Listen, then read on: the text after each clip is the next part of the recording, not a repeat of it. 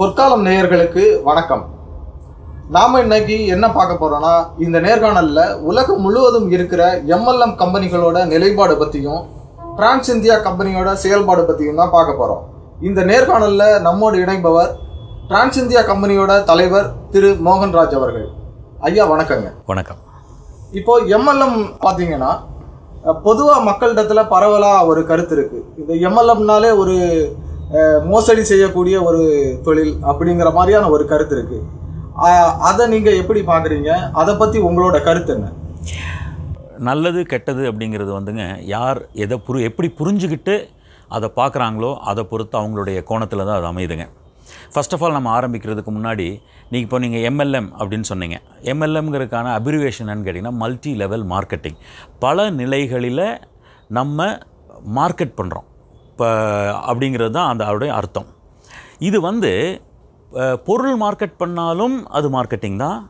பொருள் இல்லாமல் ஒரு சர்வீஸையோ இல்லை இல்லாத ஒன்றை மார்க்கெட் பண்ணாலும் அது வந்து மார்க்கெட்டிங் தான். ஸோ மல்டி லெவல் மார்க்கெட்டிங் அப்படிங்கிற அந்த வார்த்தை நாங்கள் பண்ணக்கூடிய தொழிலுக்கு பொருந்தவே பொருந்தாதுங்க. நாங்கள் பண்ணக்கூடிய தொழிலுக்கு பொருந்தக்கூடிய வார்த்தை என்னன்னு கேட்டிங்கன்னா டைரக்ட் செல்லிங் நேரடி வர்த்தகம். ஏன்னா நாங்கள் பொருளை விற்கிறோம் க டிஸ்ட்ரிபியூட்டர்ஸ் மூலமாக ஒவ்வொரு கன்சியூமராக நேரடியாக போய் சேர்றதுனால டைரக்ட் செல்லிங் அப்படிங்கிறது தான் இதனுடைய உண்மையான இந்த வியாபாரத்தின் பெயர். இப்போ இது வந்து நீங்கள் கேட்ட மாதிரி உலகம் பூரா இது வந்து தவறான முறையில் வரவேற்பு சரியாக இல்லாமல் இருக்குது இதை தவறாக புரிஞ்சுக்கிறாங்க தவறாக பேசுகிறாங்க அப்படின்னு சொல்லிச்சுன்னா அவங்களுக்கு ஏற்பட்டக்கூடிய அனுபவம் தான் அவங்கள அதை பேச வைக்குது.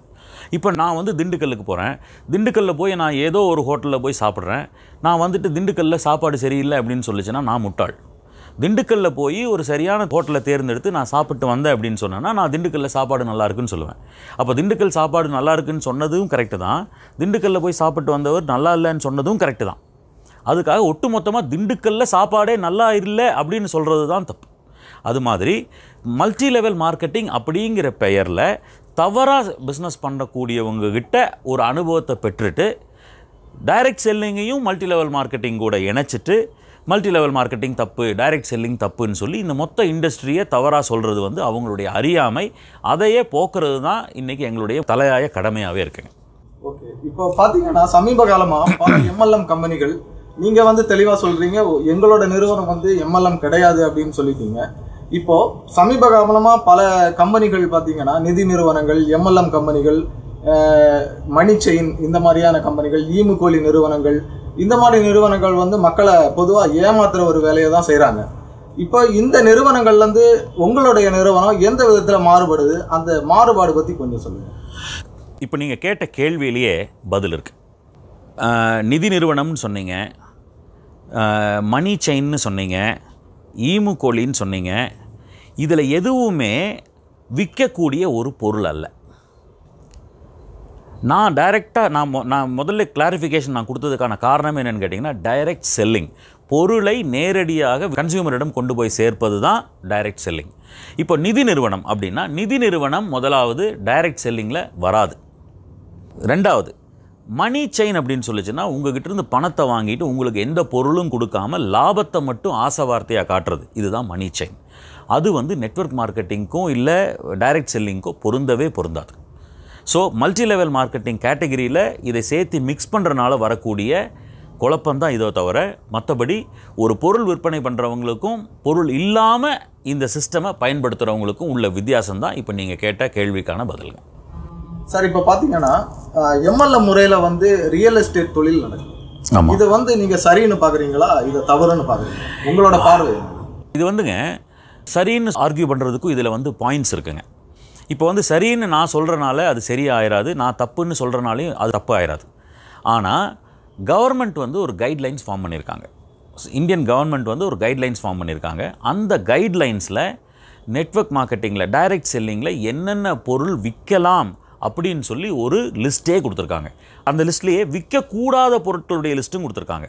அதில் ரியல் எஸ்டேட் இருக்குது காரணம் என்ன அப்படின்னா கவர்மெண்ட் சொல்லக்கூடிய காரணம் அது வந்து நியாயமான காரணம். இப்போ ஒரு பொருளை நான் வியாபாரம் பண்ணுறேன் அப்படின்னா இன்றைக்கி நான் ஒரு பொருளை உங்களுக்கு கொடுக்குறேன். அந்த பொருள் உங்களுக்கு பிடிச்சிருச்சு. நீங்கள் நாலு பேர் சொல்கிறீங்க ஆயிரம் பேருக்காக லட்சம் பேர் வேணும் கோடி பேர் வேணும்னு கேட்டாலும் அந்த பொருளை என்னால் தயார் பண்ணி கொடுக்க முடியும். இப்போ ரியல் எஸ்டேட் அப்படிங்கிறது அது வந்து ஒரு இயற்கை வளம். அப்போ அந்த இயற்கை வளத்தை நான் உங்களுக்கு விற்றேன் அப்படின்னு சொன்னேன்னா இப்போ நான் ஒரு கோடி பேருக்கு அந்த இயற்கை வளம் வேணும்னு கேட்டிங்கன்னா நான் எங்கேருந்து அதை ப்ரொடியூஸ் பண்ணுவேன்? ஸோ அது வந்து ப்ரொடியூஸ் பண்ண முடியாத ஒரு ப்ராடக்ட் அதனால தான் சென்ட்ரல் கவர்மெண்ட்டில் அந்த ப்ராடக்ட்டை வந்து டைரக்ட் செல்லிங்கில் விற்கக்கூடாது அதே மாதிரி அந்த பொருளுக்கு வந்து நிலையான ஒரு பொருள் ஒரு விலை கிடையாதுங்க. இப்போ நூறடி ரோட்டில் இருக்கக்கூடிய ஒரு ப்ராப்பர்ட்டிக்கு ஒரு விலை இதே வந்து சரவணம்பட்டியில் இருக்கக்கூடிய ஒரு ப்ராப்பர்ட்டிக்கு ஒரு விலை இருக்குது இதே வந்து போத்தனூர் தாண்டி இருக்கக்கூடிய ப்ராப்பர்ட்டிக்கு வேற ஒரு விலை இருக்குது ஆனால் இது எல்லாமே கோயம்புத்தூருக்குள்ளே தான் இருக்குது கோயம்புத்தூரில் இடம் இவ்வளவு அப்படின்னு சொல்லிச்சுன்னா கோயம்புத்தூரை பற்றி தெரியாதவங்க கோயம்புத்தூருக்குள்ளே வாழாதவங்க ஓ கோயம்புத்தூரில் இவ்வளோ சீப்பாக கிடைக்குதா அப்படின்னு சொல்லி ஏமாறுவதற்கான வாய்ப்புகளும் நிறையா இருக்குது இதெல்லாம் காரணமாக வச்சு தான் ரியல் எஸ்டேட் வந்து நெட்வொர்க் மார்க்கெட்டிங்கில் டைரக்ட் செல்லிங்கில் செய்யக்கூடாதுன்னு சென்ட்ரல் கவர்மெண்ட் கிளியராக ஆர்டர்ஸ் கொடுத்துருக்காங்க. ஸோ நீங்கள் கேட்ட கேள்விக்கு பதில் ரியல் எஸ்டேட் டைரக்ட் செல்லிங்கில் பண்ணக்கூடாது.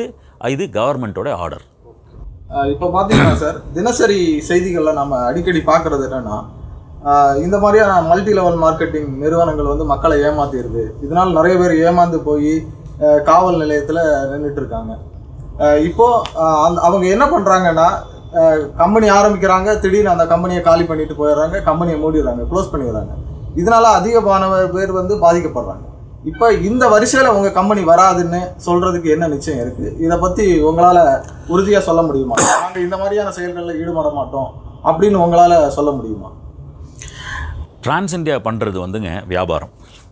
ஒருவர்கிட்ட பணம் வாங்குறோன்னா அவங்களுக்கு பொருள் கொடுக்குறோம் பத்து ரூபா வாங்குறோன்னா அந்த பத்து ரூபாய்க்கு பொருள் கொடுக்குறோம் அப்போது ஒரு கஸ்டமர் வந்து பத்து ரூபா பணம் கட்டுறாரு பத்து ரூபாய்க்கான பொருள் வாங்கிட்டு போயிட்டார்.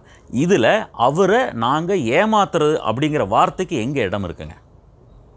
இன்னொன்று வியாபாரம் நடக்கிற வரைக்கும் நிறுவனம் எந்த ஒரு கடையாக இருந்தாலும் இருக்கத்தான் செய்யும். எந்த ஒரு நிறுவனமாக இருந்தாலும் இருக்கத்தான் செய்யும். வியாபாரம்னு ஒன்று இல்லைன்னா தான் மூடுவாங்களே தவிர வியாபாரம் நடக்கும் பொழுது எந்த ஒரு நிறுவனமும் மூட மாட்டாங்க. அப்போ அந்த வகையில் டிரான்ஸ் இந்தியா செய்வது பொருள் வியாபாரம் பண்ணக்கூடிய ஒரு நிறுவனம் டிரான்ஸ் இந்தியா நிறுவனம்.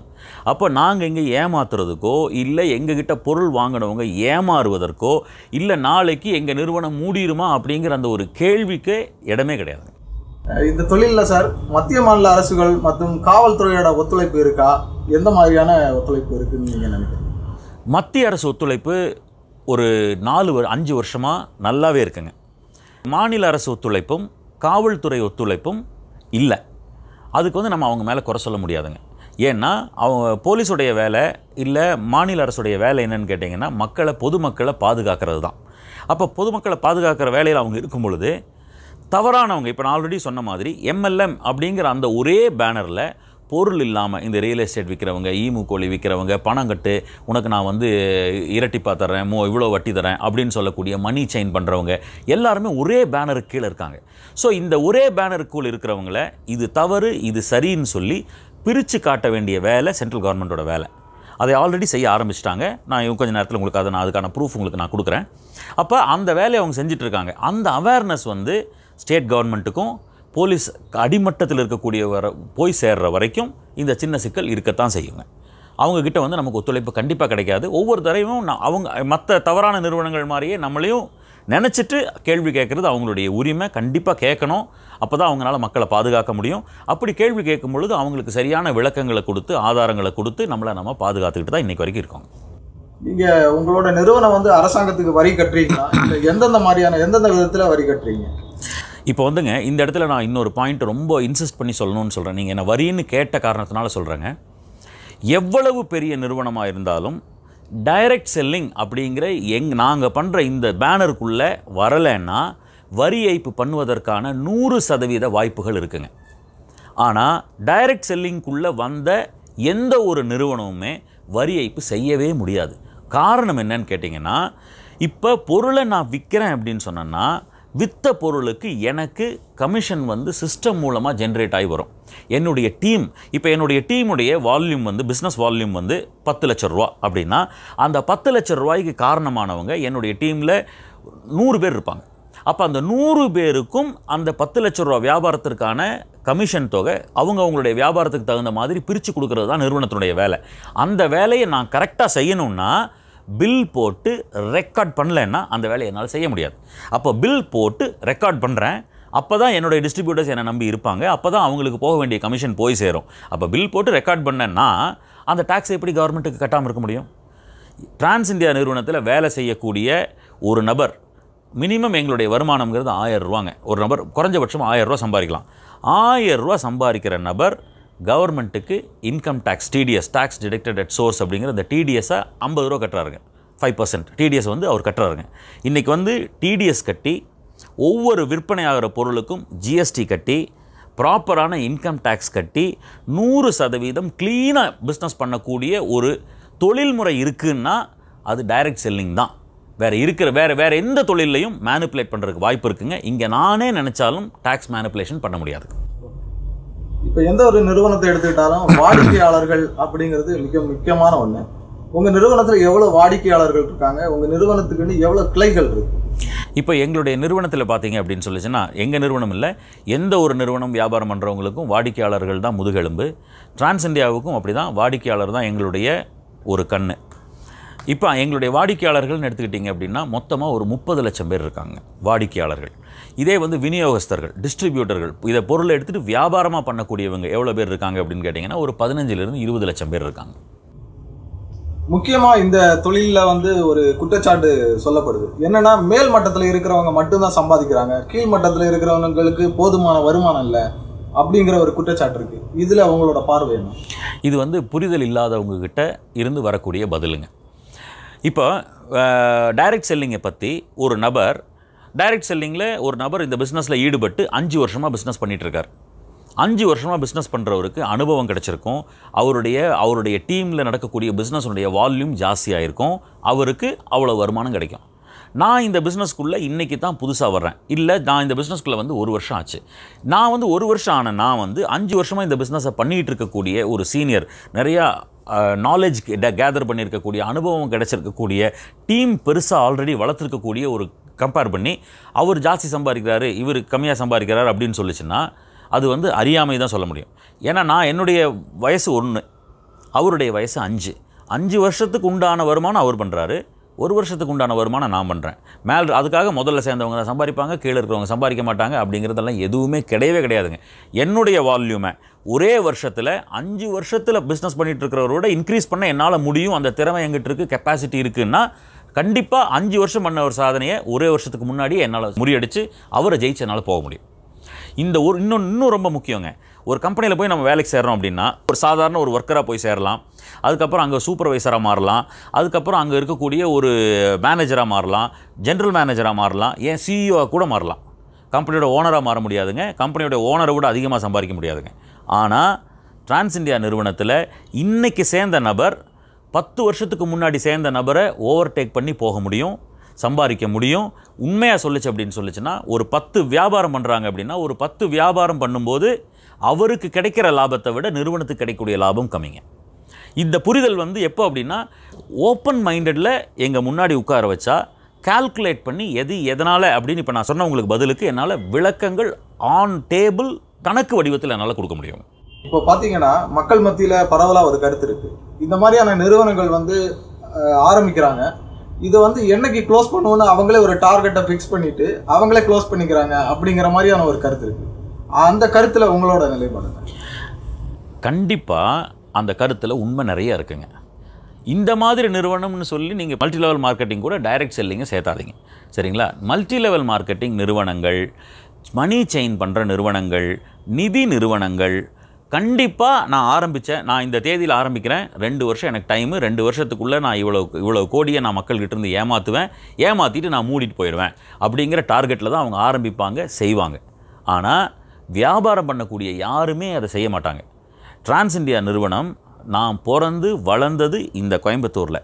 இப்போ நீங்கள் உட்காந்துக்கிட்டு இருக்கிறது இந்த பில்டிங் என்னுடைய சொந்த பில்டிங் என்னுடைய சொந்த வீடு கோயம்புத்தூரில். என் ஒய்ஃபு குழந்தைங்க எல்லாரும் பிறந்து வளர்ந்தது கோயம்புத்தூரில்.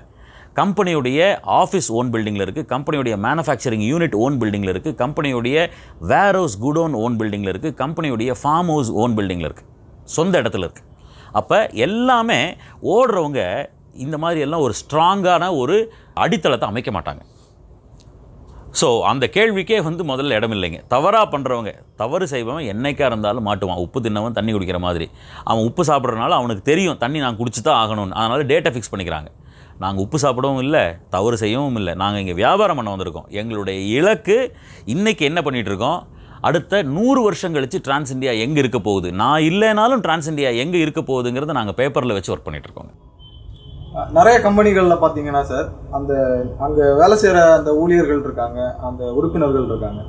அவங்களோட வாழ்க்கை தரம் பற்றி அந்த நிறுவனத்தோட தலைவர்களுக்கு ஆனால் உங்களுக்கு தெரியுமா? உங்கள் உங்கள் நிறுவனத்தில் வேலை செய்கிறவங்களோட வாழ்க்கை தரம் எந்த அளவுக்கு இருக்குன்னு உங்களுக்கு தெரியுமா?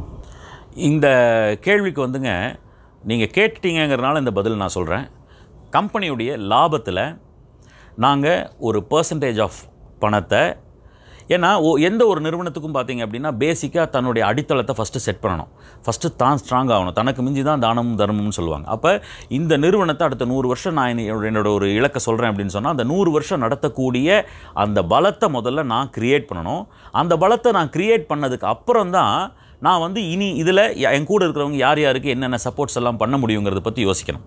டிஸ்ட்ரிபியூட்டர்ஸை பொறுத்த வரைக்கும் நான் சொல்கிறேங்க டிரான்ஸ் இந்தியாவில் டிஸ்ட்ரிபியூட்டராக இணையிறவங்க ஒர்க் பண்ணுறவங்க இன்றைக்கி வரைக்கும் ஒன்று ரெண்டு இல்லைங்க. நூறு கோடீஸ்வரர்கள் உருவாயிருக்காங்க. இப்போ நம்ம கோயம்புத்தூருக்குள்ள உட்காந்துட்ருக்கோம் கோயம்புத்தூரில் ஆயிரம் கோடி நாலாயிரம் கோடி சொத்து இருக்கிற எவ்வளவோ பெரிய பெரிய தொழிலதிபர்கள் இருக்கிற ஊர். நான் சேலஞ்ச் பண்ணி சொல்கிறேன் இப்போ டிரான்ஸ் இந்தியாவில் நூறு கோடீஸ்வரர்கள் இருக்காங்க அப்படின்னு சொல்லி நான் சொல்கிறேன் இன்றைக்கி ஆயிரக்கணக்கில் சொத்து வச்சுருக்கக்கூடிய ஏதாவது ஒரு தொழிலதிபரை காலரை தூக்கி இப்போ நான் சொன்னதுக்கு ஈக்குவலாக எங்கள் கம்பெனியில் நாங்களும் இந்த மாதிரி உருவாக்கியிருக்கோம்னு சொல்ல முடியாதுங்க. ரெண்டாவது எங்கள் கிட்ட பேரோல ஒர்க் பேரோலில் சம்பளத்துக்கு வேலை செய்யக்கூடிய தொழிலாளர்களுக்கு இந்த வருஷத்திலிருந்து ரெண்டாயிரத்தி இருபத்தி ஒன்று இந்த வருஷத்திலிருந்து கம்பெனியுடைய லாபத்தில் ஒரு பகுதி எடுத்து வைக்க போகிறோம் அதை நான் வந்து கம்பெனியுடைய ஆண்டு விழா பதினைந்தாம் ஆண்டு விழாவில் நான் ஆல்ரெடி அனௌன்ஸ் பண்ணிட்டேன். அதை வந்து செய்யவும் ஆரம்பிச்சிட்டோம். ஒரு பகுதி எடுத்து வைக்க போகிறோம் ஒரு பர்சன்டேஜ் ஆஃப் மணி எடுத்து வைக்க போகிறோம் எங்கள் கூட லாயலாக இருக்கிறவங்களுக்கு அந்த பணத்தை நாங்கள் கொடுக்க போகிறோம் அதாவது எப்படி கொடுக்க போகிறோம் அப்படின்னு கேட்டிங்கன்னா அவங்களுடைய லைஃப் ஸ்டைல் அவங்களுடைய வாழ்க்கை தரம் மாற்றத்துக்காக கொடுக்க போகிறோம் அதில் முதல் முதல் ஸ்டெப்பாக ரெண்டாயிரத்தி இருபத்தி எண் ரெண்டில் நம் நிறுவனத்தில் ஒர்க் பண்ணக்கூடிய மூணு பேருக்கு சொந்தமாக வீடு கட்டி தரப்போகிறோம் ஸோ மொத்தம் எங்கள் பேர் ரோலில் இருக்கிறவங்களே மொத்தமே ஒரு இருபத்தஞ்சு பேர் தான். அப்போ அந்த இருபத்தஞ்சு பேரில் மூணு பேருக்கு நாங்கள் சொந்தமாக வீடு கட்டி தரப்போகிறோம் அடுத்த வருஷம். பாக்கி இருக்கிறவங்க எவ்வளோ சின்சியராக ஒர்க் பண்ணுறாங்களோ அதே சப்போர்ட்டை வந்து அடுத்தவங்களுக்கு மற்ற மற்ற ஒர்க்கர்ஸ்க்கும் எக்ஸ்டெண்ட் பண்ணுறதுக்கு நாங்கள் ரெடியாக இருக்கோம்.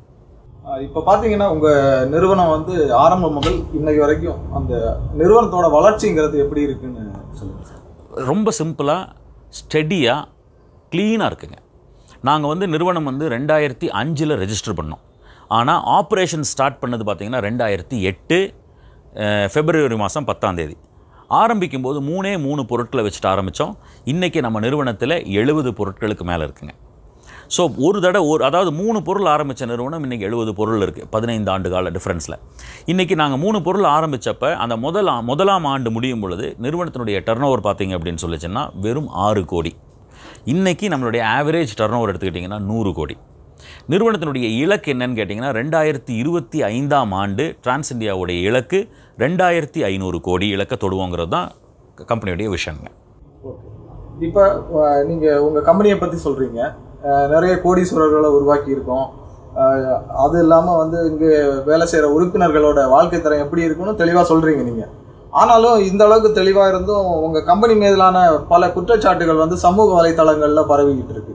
இதற்கான காரணம் என்னன்னு நீங்கள் நினைக்கிறீங்க? எப்போவுமே பேசிக்காகவே ஒருத்தன் வந்து இன்னொருத்தரை நல்லவன் அப்படின்னு சொன்னால் அதே மாதிரி கெட்டவன் சொல்கிறதுக்கும் ஒரு நாலு பேர் ஒரு பக்கத்தில் இருக்கத்தான் செய்வாங்க. இன்றைக்கி வந்து இந்த சோஷியல் மீடியா பிளாட்ஃபார்ம் அப்படிங்கிறது வந்து ரொம்ப ஸ்ட்ராங்குங்க அதனால் ஒரு சின்ன விஷயம் ஒரு சின்ன டிஸாட்டிஸ்ஃபேக்ஷன் வந்தால் கூட பொறுமை இல்லாமல் நிறுவனத்தை பற்றி தவறாக எழுதிடுறதுங்க.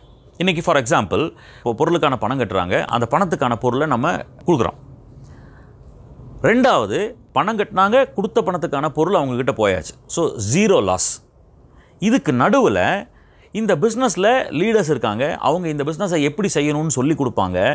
இப்போ நீங்கள் கொஞ்சம் ஆரம்பத்தில் கேட்ட மாதிரி வெளியில் வந்து இந்த பிஸ்னஸை பற்றி ஒப்பீனியன் சரியா இல்லையே எம்எல்எம் பற்றி சரியாக பேசுறது இல்லையே நல்ல ஒப்பீனியன் இல்லையேன்னு சொல்லி ஒரு கேள்வி கேட்டீங்க. அப்போ நான் இந்த பிஸ்னஸ் பண்ணுறேன்னு சொல்லி அந்த நல்ல ஒப்பீனியன் இல்லாத ஒரு நபர்கிட்ட நான் போய் பேசும் பொழுது நான் நெகட்டிவ் ஆகிறேன். பாசிட்டிவாக இந்த பிஸ்னஸ்க்குள்ளே வந்தேன் நான் நெகட்டிவ் ஆகிறேன். அப்போ இந்த நெகட்டிவ் ஆகும் பொழுது அன் என்னுடைய இன்ஃப்ளூயன்ஸ் என்ன? உங்களை உங் உங்களுடைய உங் நீங்கள் என் மேலே எவ்வளோ இன்ஃப்ளூயன்ஸ் பண்ணுறீங்களோ அதை வச்சு அதுக்கு தகுந்த மாதிரியான ரியாக்ஷனை நான் கொடுக்குறேன். அந்த ரியாக்ஷனை நான் வந்து சோஷியல் மீடியாவுக்கு கொண்டு போகிறேன் அதனால தான் நடக்குதோ தவிர மற்றபடி சார் இப்போ எந்த நிறுவனத்தின் மேலே ஒரு குற்றச்சாட்டு இல்லைன்னு நீங்கள் திங்க் பண்ணுங்கள் இன்றைக்கி வந்து உலகம் கூட வியாபாரம் பண்ணுறாங்க அமேசான் அமேசான் மேலே க கேஸ் இல்லைன்னு நினைக்கிறீங்களா? இல்லை அமேசான் மேலே தவறான ஒப்பீனியன் ஊடகங்களில் போடாமல் இருக்காங்கன்னு நினைக்கிறீங்களா? ஃபேஸ்புக்லேயோ இல்லை வாட்ஸ்அப்லேயோ சர்க்குலேட் பண்ணாமல் இருக்காங்கன்னு நினைக்கிறீங்களா? ஸோ விமர்சனங்கள் இல்லை நெகட்டிவ் பேசுகிறது அப்படிங்கிறது சோஷியல் மீடியாவில் அது மாற்ற முடியாதுங்க. ஏன்னா இன்றைக்கி அவ்வளோ வளர்ந்தாச்சுங்க. ஆனால் அது வந்து மக்களுக்கும் இன்றைக்கி தெரியுங்க. இன்றைக்கி வந்து நான் இன்றைக்கி நூறு கோடி பண்ணிகிட்டு இருக்கேன்னு சொல்கிறேன் ரெண்டாயிரத்தி ஐநூறு கோடி இலக்கு வச்சுருக்கேன்னு சொல்கிறேன் அப்போ சோஷியல் மீடியாவில் நெகட்டிவ் இருந்ததுன்னா அது அது வந்து என்னோட தொழிலை பாதிக்கும் அப்படிங்கிற எண்ணம் இருந்தால் நான் இவ்வளோ ஸ்ட்ராங்காக உங்ககிட்ட சொல்ல முடியுமா? இல்லை அதை நோக்கி எங்ககிட்ட இருக்கக்கூடிய டிஸ்ட்ரிபியூட்டர்ஸ் ஒர்க் பண்ண முடியுமா?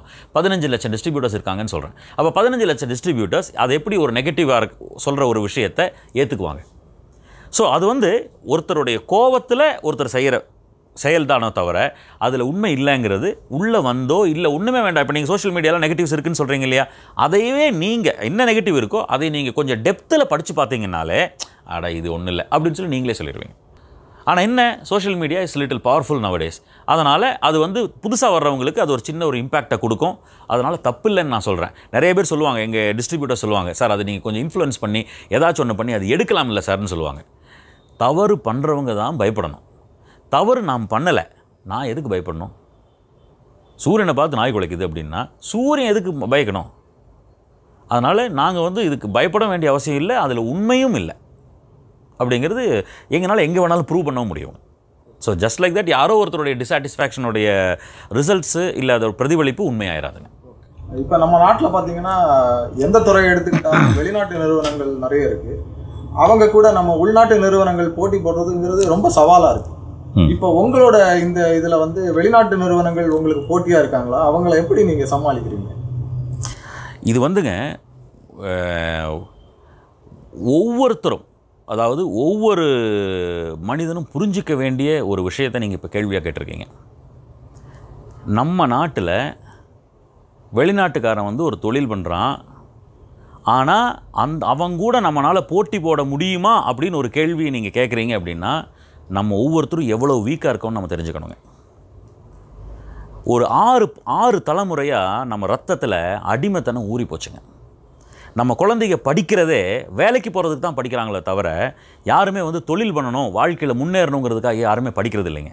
அந்த மாதிரியான ஒரு கல்வி முறையே இன்றைக்கி நம்மக்கிட்ட இல்லைங்க. எந்த நாட்டில் தொழில் முனைவோர்கள் அதிகமாக இருக்காங்களோ அந்த நாடு தான் வேகமாக முன்னேறும்.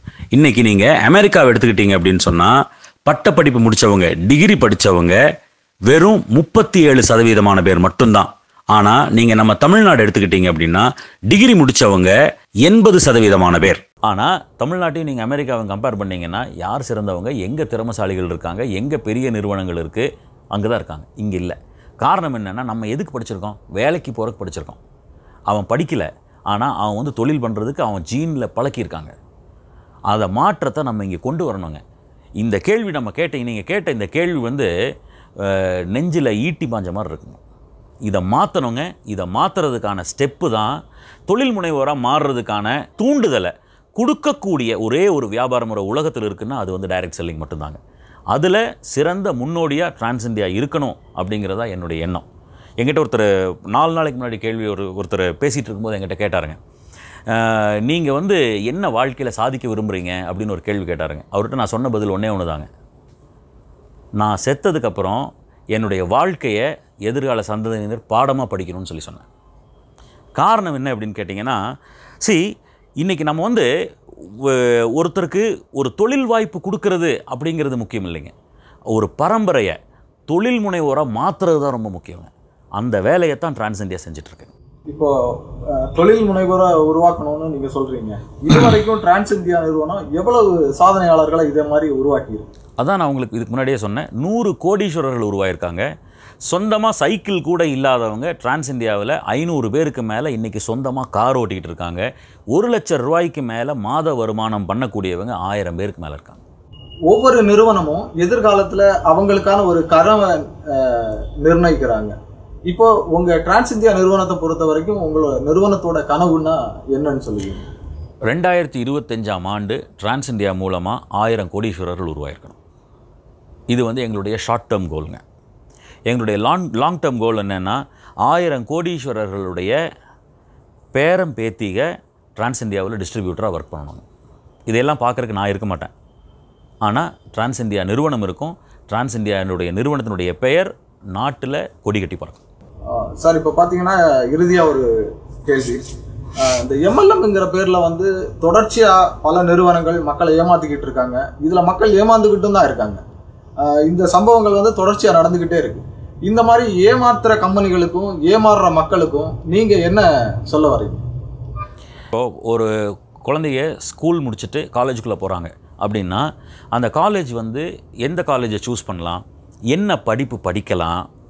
எந்த கோர்ஸ் எடுத்தால் எதிர்காலம் இருக்குது அப்படிங்கிறத பற்றி இதை பற்றி தெரிஞ்சவங்கக்கிட்ட ஆலோசனை பண்ணுறாங்க ஆனால் இதுவே ஒரு தொழில் அப்படின்னு வந்ததுன்னா தெரிஞ்சவங்ககிட்ட ஆலோசனை பண்ணுறது இல்லைங்க. அவங்க கையில் எவ்வளோ பணம் இருக்கோ அந்த பணத்தை வச்சுக்கிட்டு நான் ஒரு பெட்டி கடை போடுறேன். நான் ஒரு மாவு மில்லு வைக்கிறேன் நான் ஒரு மளிகை கடை வைக்கிறேன் அப்படின்னு சொல்லிட்டு அவங்களே டக்குன்னு சுயமாக முடிவெடுக்கிறாங்க. அதனால தான் தொழிலில் நிறைய பேர் தோக்குறாங்க.